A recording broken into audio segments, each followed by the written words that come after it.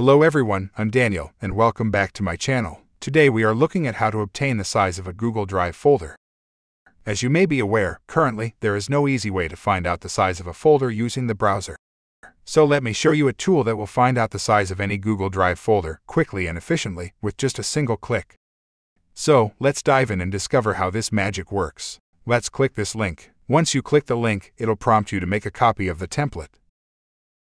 There we go. Now you should have the template right in front of you.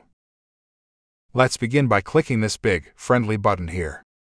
Since this is your first time using this, Google will ask for some permission. Just click OK. Select your Google account. And then click on Advanced. Proceed by clicking the link here. Finally, press Allow to give the necessary permissions. Once that's done, we need to hit the button again. OK, a pop-up will appear and will ask you if you want to calculate the size of all folders or just one folder. For now, let me choose all folders by clicking Yes. And voila, the script kicks off, calculating the size of your folders. Keep in mind, larger folders with many files might take a bit longer to process.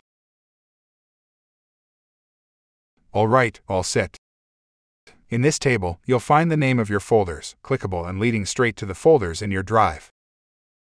You can see the number of subfolders, the number of files and of course, the size of the folders in megabytes.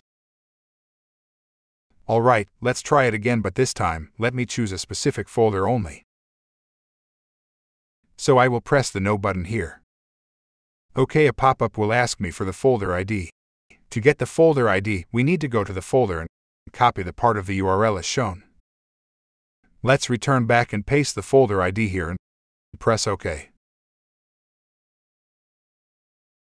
And there it is, our folder's details and size, neatly listed and ready for any analysis or storage management you need.